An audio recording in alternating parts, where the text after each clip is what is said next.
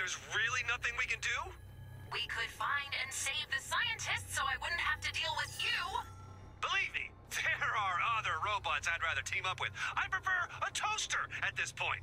Oh, we'd all prefer a toaster, but here